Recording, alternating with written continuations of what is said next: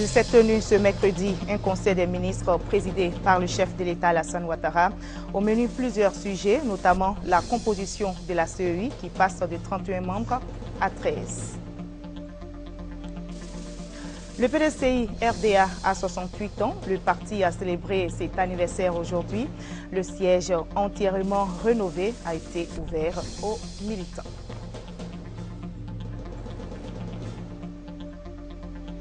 Ouverture des résidences universitaires, une première liste est publiée depuis hier. Plus de 1400 lits ont été attribués.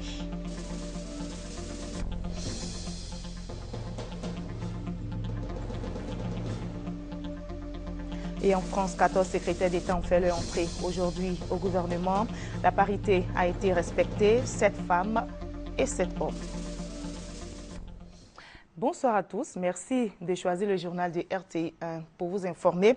Commençons par le palais présidentiel où s'est tenu ce mercredi un conseil des ministres présidé par le chef de l'État Alassane Ouattara. Au menu plusieurs sujets, notamment les mesures prises par la Côte d'Ivoire pour prévenir tout risque du virus Ebola et la composition de la commission électorale indépendante qui passe désormais de 31 membres à 13 conformément à un projet de loi pris par le conseil. On fait le point avec Jérôme Kofi Aboulet. Palais présidentiel, nous sommes le 9 avril 2014. Si l'on se permet de parler de quorum à l'occasion du Conseil des ministres ce mercredi, l'absence d'ailleurs justifiée de certains membres du gouvernement n'est rien comparé à la présence massive de ceux déjà en place à l'arrivée du président de la République, Alassane Ouattara, dans la salle pour cette réunion hebdomadaire. Quorum donc atteint. La réunion, pour ce qui est du temps rendu nécessaire pour aborder toutes les questions à l'ordre du jour, a duré environ 1h30 minutes. L'une des décisions prises concerne la CEI, qui doit être désormais composée de 13 membres au lieu de 31. Le projet de loi extrait des organes de la CEI les groupements ou acteurs politiques dont la présence ne se justifie plus. Aujourd'hui, donc, la CEI est ramenée à 13 membres, 13 membres dont euh, quatre représentent le président de la République et le gouvernement, trois représentent la société civile, dont deux religieux, trois représentent le parti ou les groupements de partis qui sont au pouvoir, et trois représentent les partis ou groupements politiques de l'opposition. Le Conseil s'est une fois de plus préoccupé du système de la santé en Côte d'Ivoire, ce qui justifie la présence de la ministre de la Santé et de la lutte contre le sida au point presse. Madame Raymond Goudoukofi a d'abord évoqué le cas Awa Fadiga, décédé au CHU de Cocody. Le gouvernement a vraiment pris le problème de la santé à bras le corps. Euh, les choses sont en cours. C'est vraiment dommage ce qui est arrivé euh, avec le décès de, de, Fadiga et bien sûr tant d'autres qui ne nous ont pas été signalés. Mais euh, le processus est en cours. Nous sommes vraiment en train de, vraiment nous travaillons. Le gouvernement a mis beaucoup d'argent déjà et le gouvernement a consenti à mettre ce plan d'urgence en place à hauteur globalement de 3 milliards. La ministre de la Santé et de la lutte contre le sida a ensuite rassuré quant aux mesures prises pour faire face à la fièvre Ebola qui sévit en ce moment dans certains pays de la sous-région, notamment la Guinée. Nos médecins euh, au sein de l'INHP, c'est-à-dire l'Institut national de l'hygiène publique, ainsi que ceux de l'Institut Pasteur et du service de maladies infectieuses, ont été formés très tôt, n'est-ce pas, à, euh, la reconnaissance, j'allais dire, euh, visuelle déjà en dehors bien sûr de la période d'incubation qui pourrait les interpeller. Je pense que nous sommes tous concernés par le problème et nous devons tous faire un effort. Donc l'impact économique, il suffit simplement d'avoir une autre activité génératrice de revenus. Si ce n'est pas la gouttière, mais ça peut être autre chose. Alors vraiment, je reste formel. Faisons tous l'effort pour nous aider à ne pas permettre l'entrée du virus en Côte d'Ivoire. Pour le gouvernement, il s'agit de prendre toutes les dispositions nécessaires concernant toujours la fièvre Ebola afin d'éviter la psychose au sein des populations. Ajoutez que le Conseil des ministres a décidé de restaurer la fonctionnalité des urgences euh, de la ville d'Abidjan et ses environs. Un plan d'action de plus de 3 milliards de francs CFA euh, sera mis en œuvre et se déroulera en trois phases. Par ailleurs, en attendant les conclusions euh, des enquêtes judiciaires en cours et suite à l'enquête administrative effectuée par l'Inspection générale de la santé et de la lutte contre le sida, le Conseil a arrêté des mesures administratives conservatoires suivantes sont relevés de leurs fonctions avec effet immédiat le directeur général du CHU de Cocody, le chef du service des urgences et la surveillante d'unité des soins des urgences. Ajoutez en bref qu'après la France, le Premier ministre Daniel Cablan-Duncan se rend aux États-Unis d'Amérique, le chef du gouvernement ivoirien participera aux réunions de printemps de la Banque mondiale et du Fonds monétaire international à Washington. Daniel Cablon-Duncan prendra part ensuite euh, les 14 et 15 avril prochains à New York au Forum sur les opportunités en Côte d'Ivoire. Le ministre de l'Agriculture est en mission à Bruxelles. Mamadou Koulibaly Sangafoua, qui a obtenu hier de l'UE une promesse de près de 40 milliards de francs CFA pour soutenir euh, le foncier, vient d'intervenir à la conférence de haut niveau de l'Union européenne. Le ministre ivoirien de l'Agriculture a présenté à cette conférence euh, la loi sur le foncier. Et justement, pour en avoir une idée, nous avons en ligne notre euh, envoyé spécial à Bruxelles, Adama Kone. Il est sur place à Bruxelles. Bonsoir. Bonsoir, Adama. Vous avez... Bonsoir. Du ministre de l'Agriculture sur le foncier à la conférence de haut niveau de l'UE. Pouvez-vous nous en dire plus Faites-nous euh, la synthèse de cette conférence. Bonsoir Marie-Laure. La Côte d'Ivoire était effectivement à la tribune du Parlement européen à la faveur de la conférence de haut niveau sur le droit de propriété. Cette conférence vient justement de s'achever ici à Bruxelles. Euh, le ministre de l'Agriculture ivoirien, Mamadou Sangafoua Koulibaly, a fait un exposé sur la réforme agraire en Côte d'Ivoire. Une réforme jugée pertinente par l'Union européenne qui a invité donc le gouvernement ivoirien à partager cette expérience avec aussi bien la communauté européenne que les autres pays d'Afrique.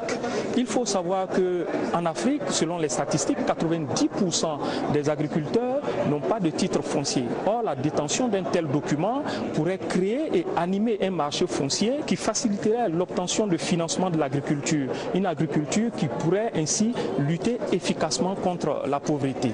Le ministre, dans son exposé, a souligné que la problématique en Côte d'Ivoire a été de trouver un compromis euh, de trouver une harmonie entre le droit ancestral, le droit coutumier qui est basé sur l'oralité, donc sujet à l'oubli, et les exigences modernes.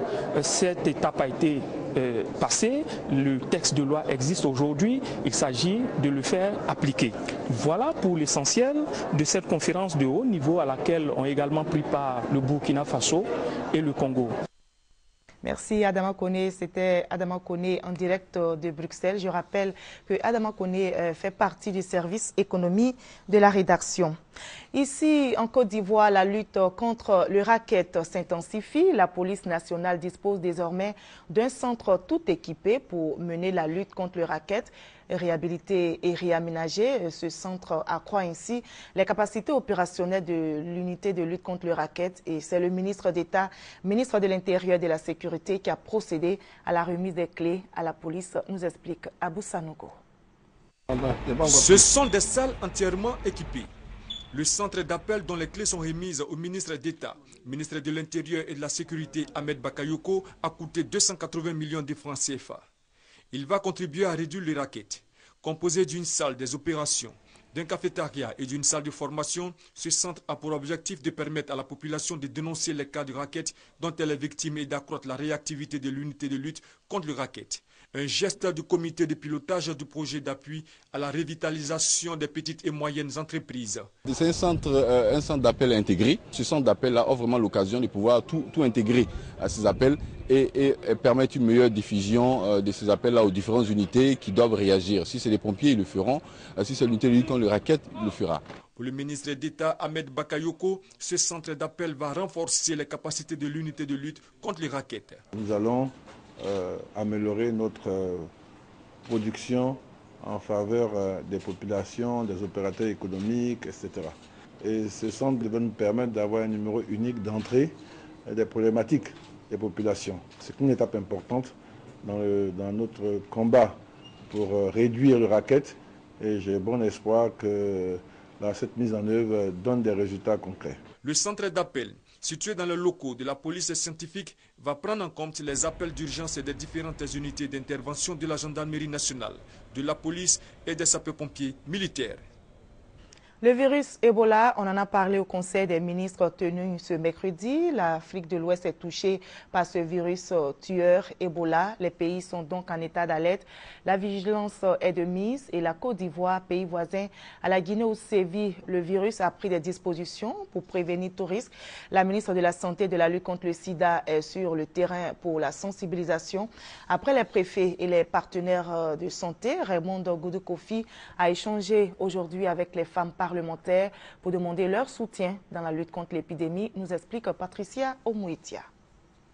Séances de travail et réunions se multiplient. La ministre de la Santé est déterminée et engagée dans la lutte contre la maladie d'Ebola. À ses côtés cet après-midi, les femmes parlementaires de Côte d'Ivoire. Elle les exhorte à relayer l'information sur le terrain afin de sensibiliser les populations. L'hygiène est surtout déjà la première étape la notion d'hygiène est extrêmement importante. Il peut arriver un cas quelque part, bien, assez éloigné, où euh, on décède et puis selon les rites, avant de l'enterrer, on manipule cette personne. C'est le départ de la contagion. Si on ne mange pas agouti aujourd'hui, on ne mange pas hérisson aujourd'hui, on ne mange pas porc épic aujourd'hui, on ne mange pas chauve-souris aujourd'hui, on peut manger du poisson. Pour Raymond Goudou Kofi, la fermeture de la frontière ne s'impose pas. Il y a des cas des gens qui viennent, qui partent de chez eux, qui euh, utilisent les pistes pour entrer en Côte d'Ivoire. À nos parents, qu'est-ce que vous allez leur dire? Dites-leur simplement que quand un étranger arrive pour venir dormir dans le village, il faut prévenir le centre de santé le plus proche. Selon le point épidémiologique du 8 avril 2014, sur 151 cas, il y a 98 décès en Guinée. Sur 21 cas, il y a eu 6 décès au Libéria. Et au Mali, 9 cas suspects ont été déclarés. En Côte d'Ivoire, aucun cas découvert jusqu'à ce jour. Ebola est le nom d'un village en Ouganda où le virus a été découvert. L'épidémie s'est déclarée en février 2014 en Guinée. Et justement, en Guinée, le virus Ebola sévit. Un nouveau bilan fait état de plus de 100 décès. La fièvre hémorragique signalée dans le pays a dépassé les frontières. 18 cas détectés au Libéria, dont 11 mortels. 9 cas suspects décelés au Mali. La vigilance est donc de mise dans les pays pour freiner la propagation de l'épidémie considérée par l'OMS comme la plus effrayante depuis 40 ans. Le marché ivoirien de l'artisanat est ouvert depuis avant-hier. 36 artisans se sont distingués par l'originalité et la qualité de leurs produits. Ces meilleurs artisans lauréats de la première édition du MIVA ont été présentés au ministre du Commerce, de l'Artisanat et des PME, Jean Le Billon. Le reportage de Patrice Kouakou est commenté par Victorien Angoa. Créativité, originalité, qualité des produits présentés, création d'emplois, préservation de l'environnement, voilà entre autres les critères proposés afin de sélectionner les lauréats de la première édition du marché ivoirien de l'artisanat MIVA. Ce sont au total 36 meilleurs artisans de 12 pays frères invités. Deux catégories de prix, trois grands prix MIVA et des prix spéciaux. Pour le ministre ivoirien de la Culture Maurice Bandama, l'artisanat tire toute l'ingéniosité de l'emploi tout en faisant la promotion de la culture et du patrimoine. Le MIVA crée un cadre de promotion et de rencontres entre créateurs africains, acheteurs professionnels. Euh, l'artisanat a besoin de visibilité. Euh, il ne sait pas faire de publicité tapageuse hein, comme euh, une grande entreprise, mais il fait un travail de perfectionnement avec amour et abnégation. Le MIVA entend ainsi évaluer l'impact des partenariats. Des partenariats conclus dans les domaines de l'accès au marché et au financement et le développement de l'artisanat et d'en dégager les perspectives. Il va falloir qu'on travaille euh, sur euh, de meilleures infrastructures d'accueil pour l'artisanat euh, ivoirien, que ce soit à Bassam, à Modeste, à Kourogo, à Yamoussoukro, partout sur l'ensemble du territoire national. Du secteur de l'artisanat et des PME, il faut retenir leur aptitude à créer des emplois, leur flexibilité face au changement du cycle économique et leur potentiel de création de valeur ajoutée dans les stratégies de développement. Le ministère de la Solidarité, de la Famille, de la Femme et de l'Enfant mène une lutte contre la dépravation des mœurs. 15 jeunes filles interpellées dans un bar dans des tenues jugées indécentes seront reconverties à d'autres métiers. Le ministère va les aider à exercer des activités qui vont leur permettre de se prendre en charge, nous dit Gabriel Zani. Le Drumba, situé à Cocody Riviera Golf, est désormais fermé. C'est ici que travaillaient des jeunes filles comme serveuses à moitié nues. La police a fait une descente dans ce bar dans la nuit du jeudi 3 avril. Le gérant et le diguier interpellés ont été conduits devant le parquet. 15 jeunes filles entendues et mises à la disposition de la ministre de la Solidarité qui les a reçues ce mardi à son cabinet au plateau afin de comprendre leur situation. J'ai deux enfants franchement c'est moi-même qui m'occupe de mes enfants qui vont à l'école et tout ça donc... Euh, Personne ne m'a envoyé dans ce bar. C'est moi qui ai décidé d'aller travailler là-bas parce que vraiment, j'ai gagné bien ma vie là-bas. Amener les clients à consommer la boisson par tous les moyens, c'est bien la tâche difficile, aux conséquences souvent irréversibles à laquelle se livrent ces filles entre 18h et 6h du matin. Il n'y a pas trop longtemps, fait pas encore une semaine de cela, j'ai découvert que je souffre d'un début de cirrhose de foie. Cela est dû à la consommation abusive de l'alcool et puis à les boissons frélatées. Pour en moyenne 25 à 50 000 francs CFA par jour, elles sont souvent battues ou violées par des hommes ivres. La ministre de la Solidarité a décidé de les aider. Le cadre de la politique d'autonomisation économique de la femme proposait autre chose à ces filles, qui apparemment sont volontaires. Je les recevrai donc jeudi à nouveau pour leur permettre euh, de franchir le pas, de s'engager et de choisir la vie qu'elles veulent mener. Mais je crois qu'elles euh, ont le droit de se battre pour euh, leurs enfants, pour leur famille, mais pas à n'importe quel prix. Mais Anne Désiré Ouloto n'en restera pas là. Des descentes policières dans les bars seront de plus en plus fréquentes. Oui, il faut s'y attendre. Nous avons une, une réunion il y a à peine dix jours. Aujourd'hui, voici les premiers résultats. La, Madame la directrice de la police mondaine nous a assuré que ce, complexe ou ce, ce, bar ne saurait en aucune manière être ouvert à nouveau tout en invitant les filles à sortir de ce milieu et les populations à dénoncer les cas de proxénétisme déguisés dans les bars et autres lieux, la ministre compte ouvrir un centre d'accueil pour recevoir ces filles aux conditions difficiles. Elles ont le sourire, les femmes du secteur du vivrier. Le président de la République vient de leur faire don de 1000 balances. C'est le gouverneur du district d'Abidjan, Robert Begré-Mambé, qui a procédé à la remise de ces balances qui seront distribuées dans 31 régions et 13 communes du district d'Abidjan. La vente au tas en passe d'être révolue dans nos marchés. Place maintenant à la vente au kilo. Et ce, grâce à un don de 1000 balances fait par Begré Mambé, gouverneur du district d'Abidjan, au nom du chef de l'État, aux femmes du vivrier de Côte d'Ivoire.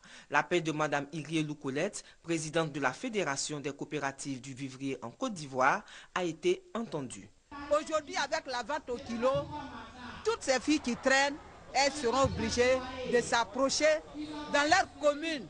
Les coopératives qui sont dans leur commune pour qu'elles puissent avoir quelque chose pour vendre, pour pouvoir se prendre en charge. Pour Anne Désiré Ouloto, ministre de la Solidarité, de la Famille, de la Femme et de l'Enfant, l'heure n'est plus au discours. Il faut agir en faveur de ces femmes qui se saignent nuit et jour pour approvisionner le marché ivoirien. Investir dans la femme, c'est donner une chance à l'éducation de nos enfants. Investir dans la femme, monsieur le gouverneur du district, du district d'Abidjan, c'est faire vivre vos collectivités. Ce sont des femmes à la tâche qui prennent l'engagement d'œuvrer contre la cherté de la vie pour que du sachet, on en vienne enfin au panier de la ménagère. Avec cette balance, nous, les commerçants, nous allons gagner, les, consommateurs aussi vont gagner et les producteurs vont gagner. Donc avec la balance, ça nous arrange. On dit merci à Monsieur le Président. Le gouverneur Begré Mambé promet faire davantage si les femmes utilisent effectivement les balances reçues. Et le reportage de Ben Touré était commenté pour vous par Patricia Omouetia. Ils étaient 11 000 étudiants à postuler pour les chambres en résidence universitaire à l'université Félix Soufouette-Boigny de Cocody. Finalement, environ 3 800 seront retenus. Ces derniers vont bénéficier des chambres disponibles dans l'enceinte de l'université Félix Soufouette-Boigny. Une première liste est publiée depuis hier. Plus de 1400 lits ont été attribués, nous dit Franck Quadio. 1453, c'est le nombre d'étudiants qui bientôt rejoindront les chambres des résidences de l'université Félix Houphouët-Boigny. 508 filles et 945 garçons. Une première liste pour commencer et déjà quelques réactions. Je suis d'abord heureux parce que je vois mon nom là. Nous profitons de cette occasion pour dire sincèrement merci au ministre de l'Enseignement supérieur. Il a tenu parole. Je suis heureux d'avoir été retenu parce que nous sommes nombreux, nous qui avons postulé. Heureusement, il y a d'autres qui n'ont pas été retenus. On nous a dit qu'il y a une deuxième liste en attente, en cours de traitement. Donc on attend la deuxième liste pour voir si nos noms seront. Mon nom n'est pas sur la liste. Oh, L'année dernière, quand les listes étaient sorties, il y avait mon nom sur le net. Je suis venu le lendemain, il y avait mon nom, tout ça. Et le lendemain, ces listes ont été suspendues, nous avons d'attendre. Et aujourd'hui, il vient voir, il n'y a pas mon nom, je ne sais pas. Je comptais vraiment sur voilà, cette opportunité-là, bon, vu la distance, voilà, puisque moi je suis un peu loin, donc voilà, ça allait m'aider à pouvoir bosser, gagner du temps voilà, dans la bosse. Mince Sotanon, directeur de l'accueil et du logement au CRU, rassure les étudiants quant à la disponibilité des clés. Depuis ce matin, euh, l'administration des résidences universitaires du campus d'Abidjan, elle est, est prête les, agents attendent les étudiants. L'étudiant retenu sur la première liste qui va se présenter ce matin dans nos résidences sera reçu et, il pourra tranquillement intégrer sa chambre. Sur les 3800 lits à pourvoir à l'université Félix Houphouët-Boigny, reste 2347 lits pour une seconde liste de bénéficiaires. Elle sera connue dans les prochains jours selon les autorités du CRU. La page politique de cette édition s'ouvre avec l'anniversaire du PDCI RDA qui a célébré aujourd'hui ses 68 ans. La direction du parti a marqué ce jour anniversaire par plusieurs activités, notamment une journée porte ouverte pour présenter aux militants les moments forts de la vie du PDCI RDA. Une journée marquée également par l'ouverture du siège du parti entièrement rénové. Le témoignage est signé Léon Bro. Quelques moments forts de la vie du PDCI RDA en images et en lettres. Des lettres et des images retraçant également la vie de Feu Félix Soufouette-Boigny, père fondateur du PDCI RDA. Deux histoires communes donc pour permettre aux militants de se ressourcer dans leur parti 68 ans après sa création le 9 avril 1946. Pour l'idéologie du parti qui est la paix, le dialogue, la tolérance, c'est le parti idéal pour tout jeune Ivoirien qui veut s'épanouir. Donc il faudrait qu'on leur explique l'histoire de ce grand parti pour qu'ils viennent y adhérer de plus en plus. Objectif atteint pour la direction du PDCI RDA, eu égard aux réactions des militants. Mais ça me rappelle euh, l'histoire euh, pittoresque du PDCI, une histoire qui part du président Félix Oufé-Boigny, en passant par le président Henri Conan Bédier et tous les jeunes militants d'aujourd'hui. J'essaie de me cultiver, mais il y a toujours quelque chose à découvrir. Et ce sont des occasions pour découvrir certaines choses qu'on ignorait. Je vais véritablement en militant requinqué, je vais retrouver mes frères et sœurs à la base pour leur dire véritablement ce que c'est le PDCRDA. Cadre de cette exposition photo couplée de dédicaces d'œuvres biographiques sur le père fondateur du PDCI RDA, la maison du parti à Cocody. Une bâtisse entièrement rénovée, notamment sa salle du bureau politique destinée aux prises des décisions majeures sur la vie du PDCI RDA. Les militants ont aussi découvert la liste des pionniers de leur parti. Et le 68e anniversaire du PDCI RDA a été aussi un moment pour manifester euh, la reconnaissance à certains des militants. Ces militants ont été donc distingués, ils ont été décorés. Certains ont été faits commandeurs dans l'ordre du mérite et d'autres chevaliers. Et toujours en politique, une prise de contact a eu lieu entre les femmes du RDR, le Rassemblement des Républicains, et celle de l'UDPCI, l'Union pour la démocratie et la paix. Au centre de la rencontre, la mobilisation des militants des deux partis RDR et UDPCI pour la présidentielle de 2015. Les explications d'Alexis Ouedraogo. Depuis novembre dernier, les femmes du parti du docteur Albert Mabritoakeus ont un nouveau bureau. Il initie des tournées auprès des organisations sœurs pour se présenter, mais aussi tracer des lignes de collaboration pour les prochaines échéances présidentielles. À notre congrès, nous avons pris de très grandes décisions. L'une de ces décisions, c'est qu'en 2015, que l'UDPCI soutienne la candidature du président Alassane. Donc nous luttons pour cela. Nous voulons qu'au RHDP, que le président Alassane soit le seul candidat. La présidence des femmes du RDR n'a pas manqué d'exhorter ses sœurs à travailler dans l'unité avec pour mot-clé la victoire du président Alassane Ouattara. Il y a la nouvelle présidente euh, qui vient se présenter à ses sœurs de, du RDR. Mais en plus, elle vient leur annoncer que pour les prochaines élections, le président Ouattara est leur candidat. Alors, vous comprenez que ça ne peut être que des sentiments de joie et de fierté. La rencontre a pris fin sur l'espérance des femmes à travailler à la réconciliation totale dans le pays. Le conseil régional du Tiologo est en tournée euh, pour rencontrer les populations du Tiologo et échanger avec elles sur leurs difficultés. Le conseil euh, vise également ce rapprochement avec euh, les populations pour leur expliquer sa mission. Le témoignage de Kouadio Kwame Jean de Dieu. La filière Anacar d'emploi 250 000 producteurs regroupés dans une vingtaine de coopératives et nourrit plus d'un million cinq cent mille personnes, directement ou indirectement. Cependant, les prix d'achat pratiqués sur le terrain sont loin de satisfaire les producteurs et sont rarement respectés.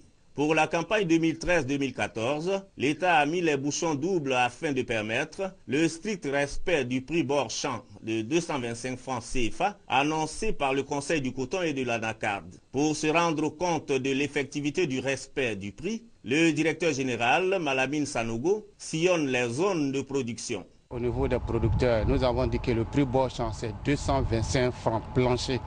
J'insiste bien plancher, c'est-à-dire qu'on ne peut pas acheter en dessous de 225 francs au niveau des producteurs, mais on peut l'acheter à 300, à 400 selon la qualité. Le prix plancher au niveau des magasins intérieurs est respecté. Le prix au niveau portuaire est respecté. La qualité s'est améliorée. À mi-chemin de la commercialisation de la NACAD, je pense que tout se passe relativement bien. Malgré le respect du prix d'achat de 225 francs CFA le kilogramme de la noix de cajou, Certaines difficultés sont rencontrées sur le terrain. Des structures transformatrices et exportatrices de l'anacade mènent une concurrence déloyale aux acheteurs sur le terrain.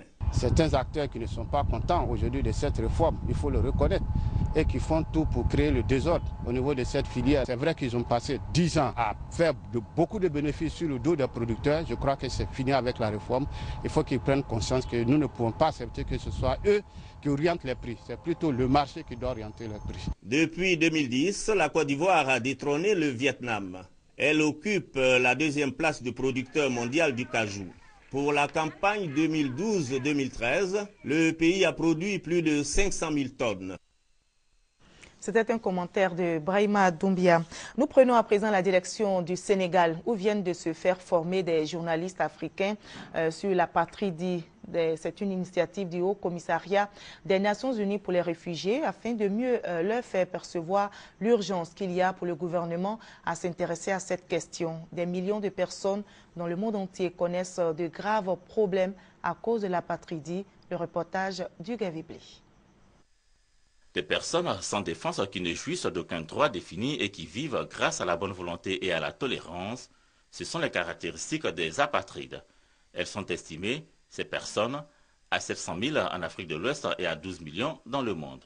Aider la personne apatride à vivre dans la sécurité et la dignité jusqu'à ce que sa situation puisse être réglée, c'est le combat du Haut Commissariat des Nations Unies pour les réfugiés. En conviant à un atelier de formation à Dakar, les professionnels des médias des pays de la sous-région, l'UNHCR avait à cœur d'obtenir leur contribution à la prévention et à la réduction de l'apatridie, également à la protection des droits de l'apatride. Cette personne, qu'aucun État ne considère comme son ressortissant du fait de sa législation. Les personnes qui sont apatrides sont des personnes qui n'ont pas de droits, qui sont donc exposées à une très grave vulnérabilité. Alors, le message, est très simple il faut identifier les personnes apatrides. Il faut aussi réformer les pratiques administratives afin que les personnes, beaucoup plus facilement qu'aujourd'hui, puissent avoir une preuve de leur nationalité. Et ça commence par l'acte de naissance. Il n'y a pas suffisamment d'enfants dans la région qui disposent aujourd'hui d'actes de naissance. Neuf États de la sous-région ouest africaine, parmi eux la Côte d'Ivoire, ont ratifié la Convention de 1954 sur le statut des apatrides. Le centenaire de ce traité mis en place par l'ONU pour réglementer le statut des apatrides et garantir leurs droits humains à ces personnes sans nationalité, sans identité, donc sans existence juridique, sera célébré à Yamsokro en juin 2014. En France, 14 secrétaires d'État ont fait leur entrée aujourd'hui au gouvernement. Ils ont été nommés ce mercredi même pour compléter les 16 membres de l'équipe gouvernementale. La parité a été respectée, 7 femmes, 7 hommes. Avant de nous séparer, ce rappel du Conseil des ministres qui a décidé de restaurer la fonctionnalité des urgences de la ville d'Abidjan et ses environs, un plan d'action de plus de 3 milliards de francs CFA sera mis en œuvre et se déroulera en trois phases. Par ailleurs, en attendant les enquêtes judiciaires en cours et suite à l'enquête administrative effectuée par l'inspection générale de la santé et de la lutte contre le sida dans l'affaire Awa Fatiga, des mesures ont été arrêtées, des mesures administratives conservatoires suivantes ont été arrêtées, sont relevées de leurs fonctions avec effet immédiat. Le directeur général du CHU de Cocody, le chef du service des urgences et la surveillante d'unité des soins des urgences. Voilà, c'est ici que l'on s'arrête. Merci à vous tous de nous avoir suivis. À 23h, Maïsako prendra le relais pour un nouveau journal.